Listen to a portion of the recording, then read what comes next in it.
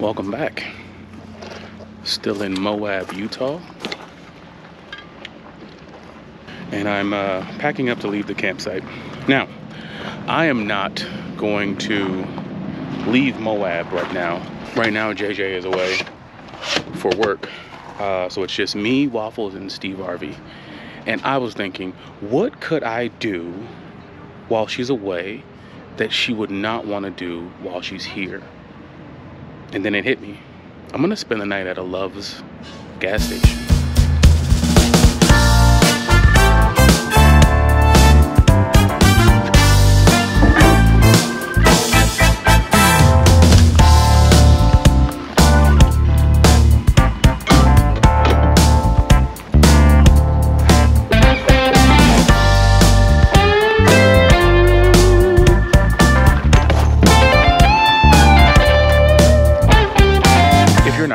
Love's, it is a family owned and operated truck stop.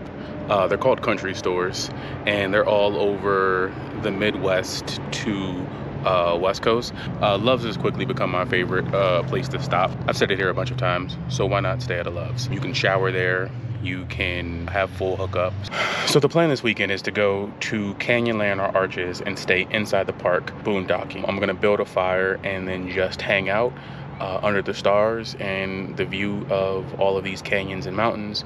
But before that, uh, the country store is the stop. I'm gonna charge all my devices. I'm gonna hook up, uh, fill up my water, fill up my propane because it is going to be a cold weekend. The low this weekend is gonna be 23 degrees, which we've had a moment of 23 degrees when we were in Estes Park. So I think I fully know how to prepare. And since I'm not gonna have hookup, I'm not gonna need to insulate any external hoses or anything. Just make sure my water is full enough and my heating pad for the water tank can turn on. Guess who does not have a hose long enough? So I'm gonna have to unhook everything, back up, dump the tanks, clean up, and then pull off.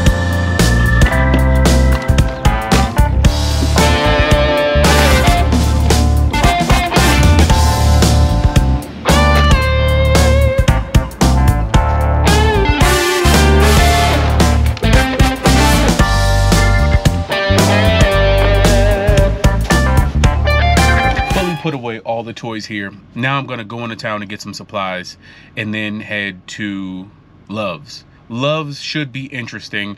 Also, the challenge is I have groceries, but let's see if I can eat all of my meals remaining meals from Love's. Things I need to do is make sure my water tank is topped off. Like I said, it is going to be 20 degrees this weekend when I am boondocking in uh, a national park. So I want to make sure my water tanks have enough water in it to not freeze. Um, one of the things is it's not going to be below freezing temperature for an extended period of time. I think it should be below freezing maximum nine hours or in the range of below freezing for maximum nine hours. So uh, with that much water um, and the sun coming up and the temperature going back up to well above freezing, I should be good. We shall see. If not, then I'm gonna have to run the generator.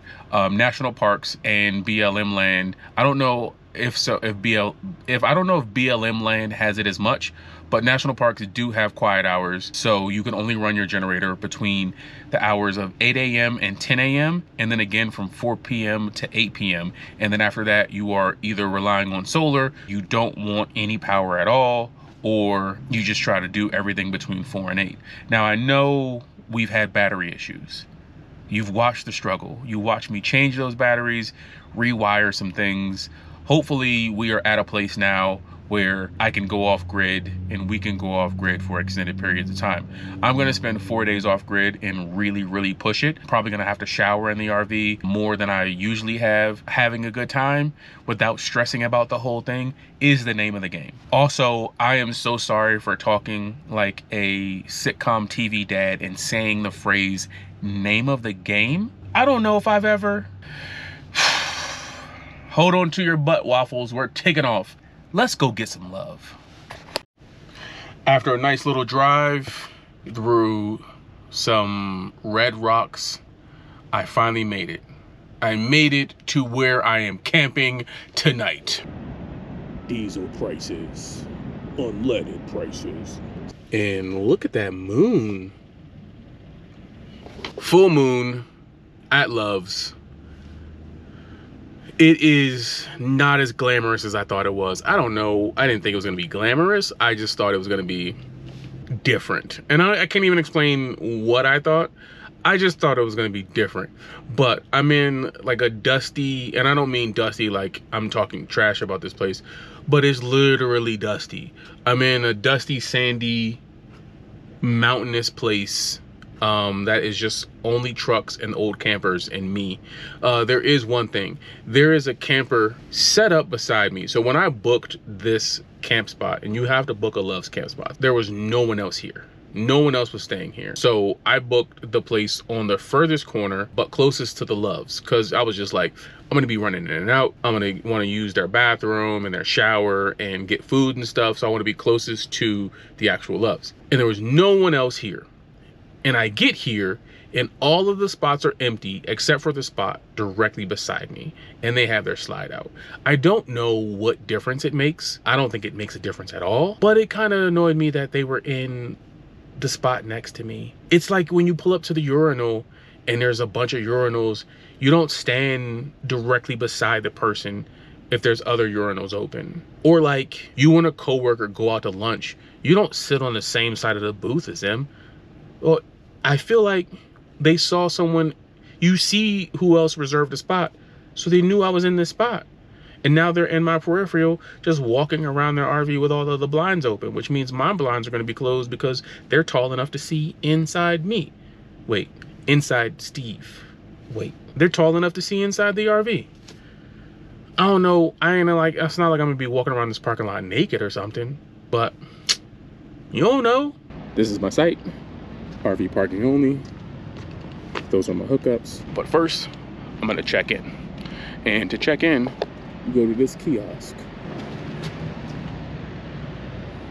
Honestly, it's just, you read these instructions, welcome to Love's.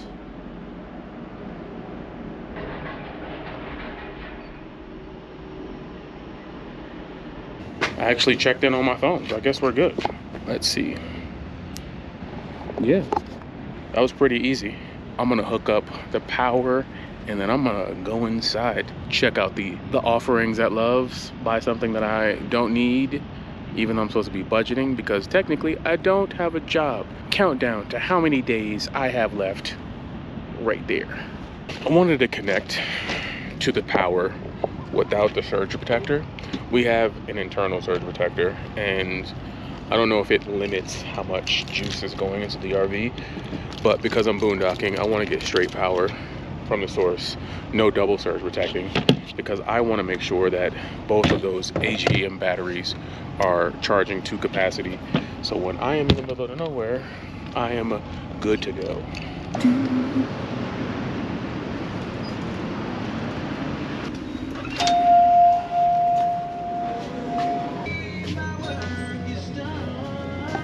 Then I start back at one. Okay, I'm here to make bad decisions pretty much because I of wanted one of these, which doesn't seem that bad. No artificial anything, no spoon needed, gluten nut free. Pretty much can just get this and vitamins and, and all of the things in here or a drinkable yogurt. I seriously think I might get these ready to eat oats which seem pretty good and a lot of vegan options in them. But I also have to get one of these, right? Vanilla birthday cake, homemade goodness. Just like a little square. But like I also have to get one birthday, one carrot cake. I don't have to. I'm not going to. I am gonna get the birthday cake. Ugh. Now I said that I was gonna eat all my meals here and I think I'm not. I think I'm just gonna do dessert. Got it. Two easy items, nothing crazy. Breakfast for tomorrow and dessert for tonight. It feels like I did pretty good. Should be interesting to see how this night goes. I'm gonna probably try to watch a movie, make sure everything's charged. So I gotta plug everything in tonight. Uh, so let's go do that. I take fish oil every morning. I managed to keep one in my pocket. I don't know, I just didn't take it that day. And sure enough, uh, didn't realize it was still in the pocket washed the shirt, dried the shirt, got it back, realized it smelled like fish when I put it on. Still did not check the little chest, the little Carhartt chest pocket. So I put it back in the laundry and was like, damn, I'm gonna wash that fish smell out. Washed it again, dried it again, and then realized the smell got worse. And I reached in that pocket, and the second time the dryer had gotten so hot that it just melted the fish oil to the inside of my shirt. So if you know you get oil on a shirt, you have an oil stain for, I don't know, until you can properly treat it. So having an oil stain that is also fish, that shirt smells wild caught salmon. And then I have a pair of my favorite fuzzy warm pants that smell the same way. And I'm going somewhere where it's going to be super dumb cold and I might want to sleep in them. So I'm going to have to wash them. I'm going to have to wash them. I'm going to just throw them in the washer either tonight or tomorrow. Loves is 24 hours. I'm going to see how I feel. I'm going to get into some comfortable clothes make sure Waff Dog's got some food and water, and then uh, maybe hit dessert, maybe hit an eatable, maybe try to watch a movie. Who knows? Where the hell you come from? Were you up there the whole time? Yeah, my guy wants some fresh ones. All right.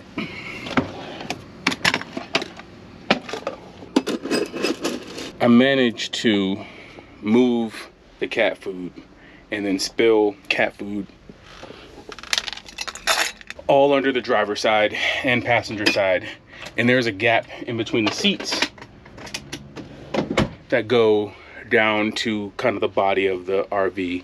And I just had to spend the last 15, 20 minutes either trying to vacuum and then the pieces that couldn't get vacuumed, I had pliers. And like the game operation, I'm going in between the seat and the body of the van trying to pluck the pieces out. And it, it I got a lot of pieces, but there's still some down there and that's gonna haunt me. And I don't know why. Vacuum can't get it. I don't know. Like this is one of those moments I wish I can just like get him to put his paw in there and like fish them out because I know he could. He's a sneaky little snake.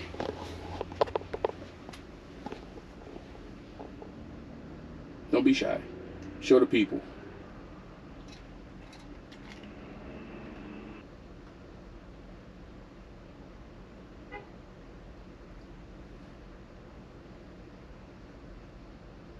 This is a good sign too. JJ's away and he's out. Soon as soon as we parked, he came out. And now he's being nosy. I left these front windows open so he can like sit in the driver's seat and kind of look out the side windows. So we're not like in a traditional campsite. We are at a gas station. So I want to see what's happening and just be able to like peek with my peeking ass. All right, so last on my list of things to do is get firewood, get propane, charge all of my things, and edit video. So I might crack into a dessert, watch some TV, edit some video, make sure all the devices are charged, and then I will see you in the morning.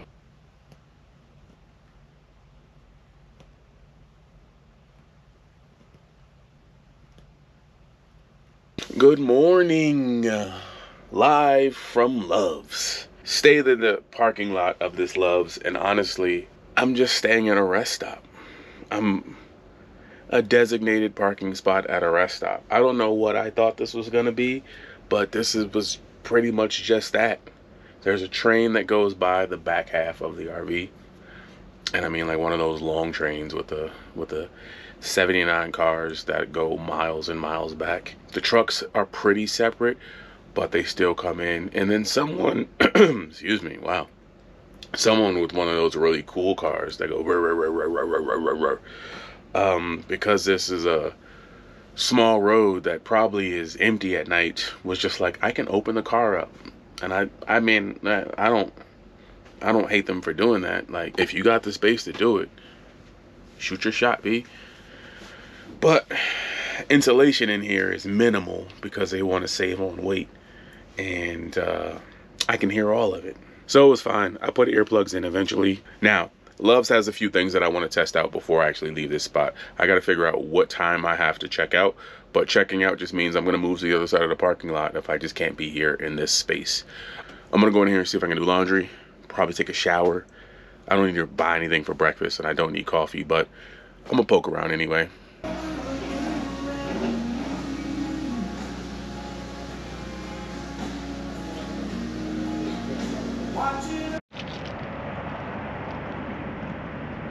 Gonna fill up some water. I have two thirds tank full of water. It's a 31 gallon tank. So I'm gonna add uh, a lot more gallons because the temperatures look like I'm gonna be battling maybe 20s. Um, it might even get down to the teens, which I might have to actually leave my camp spot and come to lower elevation so that uh, something doesn't happen. I don't know what would happen, but I want to make sure nothing happens. And I also got to get some antifreeze uh, for the tanks, but like not to come through the actual pipes, but to like put in the actual holding tank. So my black tank and my gray tank, I want to put antifreeze in so that those tanks don't seize up.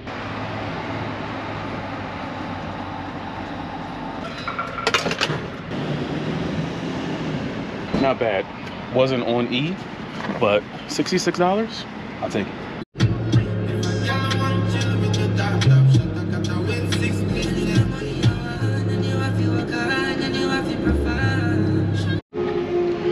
Is big, but the comedy community is strong.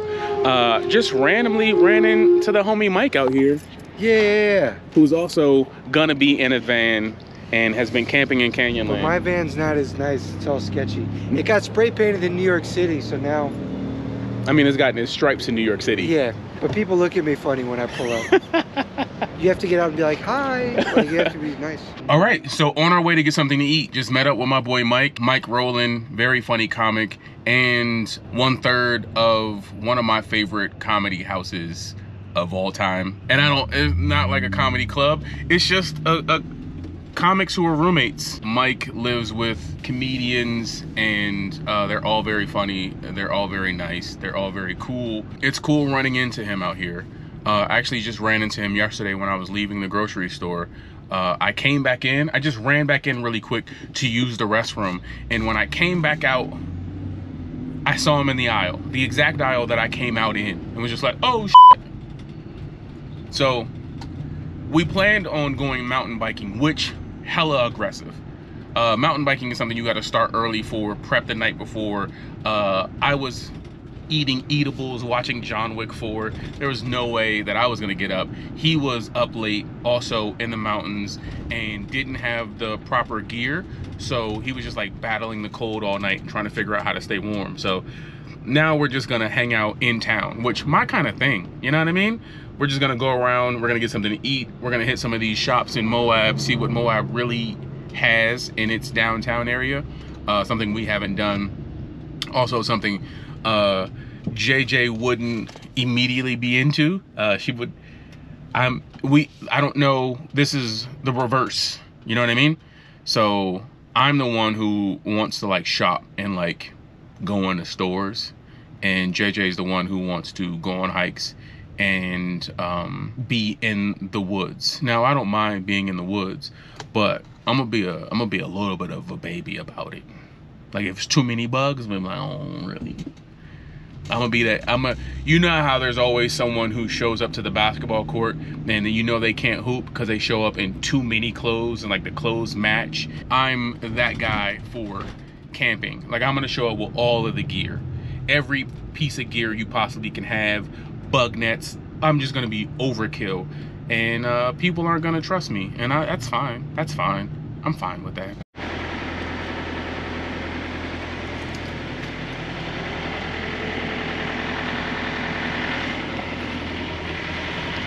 I might be top five RV parker. I don't know if there's an RV parking competition, but I would join that competition and I would challenge someone to parallel park or street park a 25 foot RV. Now, it's a whole nother beast when you have a tow vehicle, and since we don't have one, I can pretty much whip it. Not to mention the front of the RV is just a van. So, it's not like I'm doing something special. I'm gonna pretend like I am, and I'm a beast.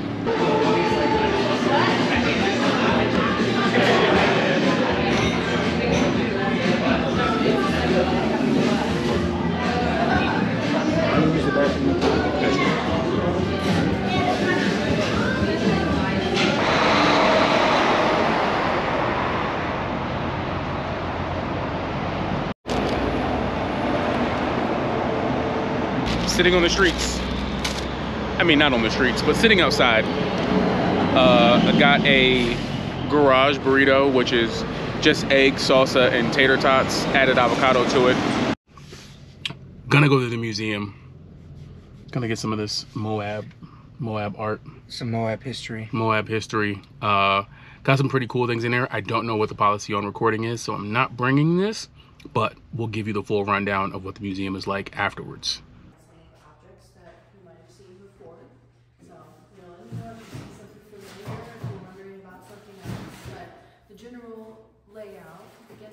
This corner with the earliest people that were in the area. And then continues, um, clockwise.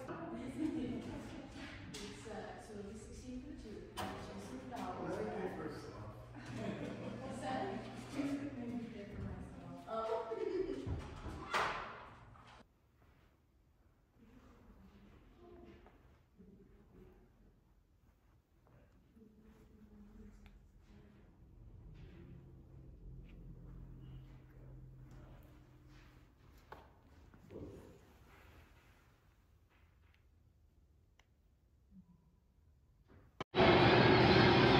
All right, food truck. about the time. Thai food around here like it's amazing. You heard that conversation in the museum too. Yeah, but heard, I, I mean, even the taxi driver was saying that too. The only thing that threw me off was like he was like, I really like Thai food, and then he said crab rangoon, and I was like, that's not, that's not Thai well, food. that's funny because I don't eat Thai food because I'm allergic to it. But I heard crab rangoon, and I was like, I think I gotta stop that.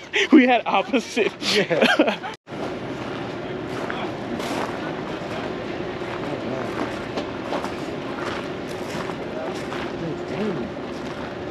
Being outside in New York, if, if a place is like, you know, we got shawarma, we got falafel, I'm like, ah, Do you? I don't know, Yeah. I don't know. Is there a guy back there slicing it off right now? Well, I remember I was in DC and I got some, and it was, I hate to say it, it was, it was trouble. Listen, as And someone was- who grew up in DC, ain't, that's not what we do. No. That's not what we do. Now, think- Ethiopian food. You wouldn't Really? have Ethiopian food? Big I don't think Ethiopian population in DC. All right, I'm probably just gonna get a, a hot dog. That's exactly what I was gonna Yeah. probably end up eating tonight anyway. How are those elk sausages? I haven't opened them yet. Oh, really? That's for the park. Oh. gonna crack them open and uh uh I looked there is a fire pit with a grill top. Oh, yeah. I'm gonna Yeah. just I'm gonna just grill some elk sausages out there. Oh, yeah. I'm gonna try it.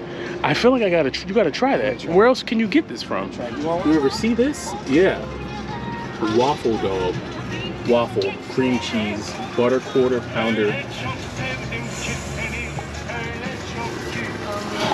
I think I'm gonna have to do one without cream cheese. How are you, sir? Can I do a uh, waffle hot dog and then another waffle hot dog?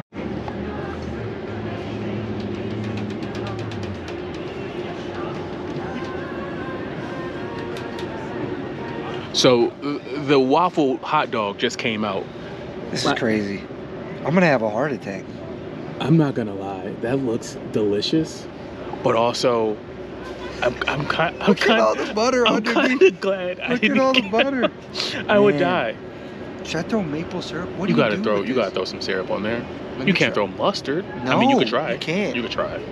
I don't want. I don't. This doesn't feel. Mustard doesn't feel spiritually correct at all. this shit is huge. Oh, going for it with the whole wrap? This thing isn't even. Yeah, you don't you don't you can't cut it. Dog first. Good dog. Good dog? Mhm. It's wrapped in bacon. There's butter. There's waffle. There's cream cheese. Okay, here we go. I mean, yeah. Yeah? It works? It's definitely all those ingredients. you, you know what I mean? But I do think it needs maple syrup. It needs like a sweetness. That's that's absolutely. You should do that. I'm gonna do it. And this is the hell the crispy king. Jesus. Pickles, chips, cheese. I don't even know. Bro, this is hitting with the syrup. Put syrup on there. That thing is wild.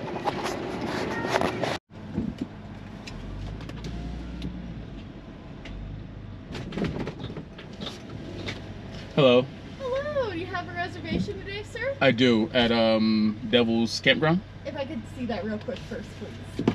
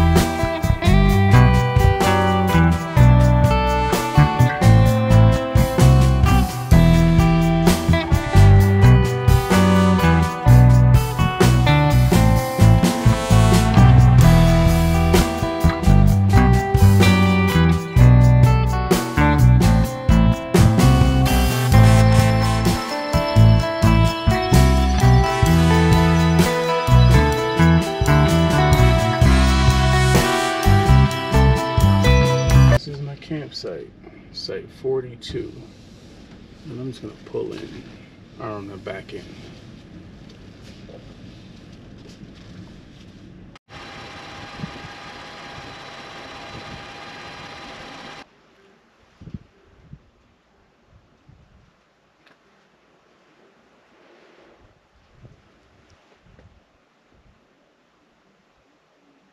Weather is about 65 degrees right now. Uh, um, as aside from like foot traffic from other campers, we are way back here in Arches National Park. We're in the back, back, back of the back. So it's just campers here, and it's pretty open, pretty chill. Right now, it's just like voices of people walking by, but it's also really quiet. Headed to the camp host to get my firewood. I got two bundles. Gonna set it aside, split a little bit of it with the hatchet. First time using a hatchet, which is gonna be fun. And then um, set up for lunch. Get the firewood ready because I'm gonna use it for dinner. And then I think I'm just gonna relax. These are not made for short people to get wood out of.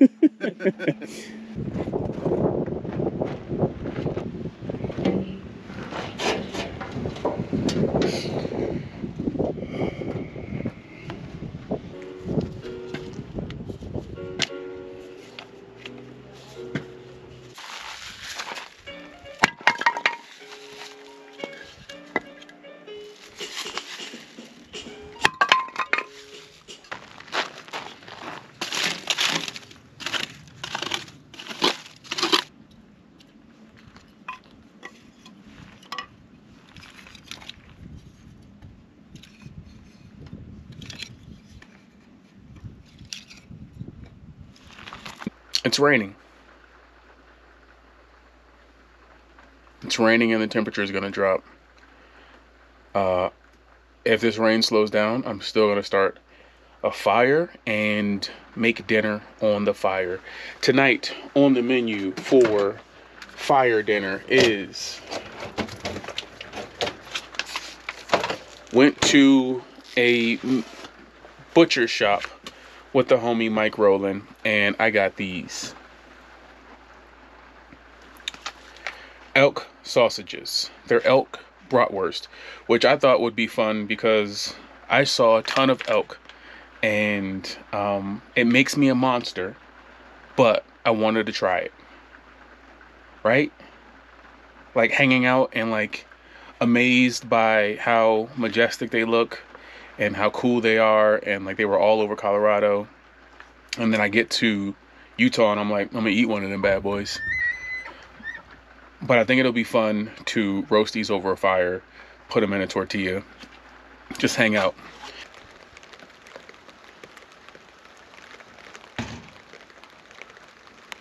I got everything. I'm just gonna probably just throw it on the plate all together and then just carry it outside. I'm gonna put this in my pocket and I'm also gonna put this in my pocket. My little bundle of joy, my little fire starter with a wax wick that I can just put under there just because it is a bit damp outside after that rain.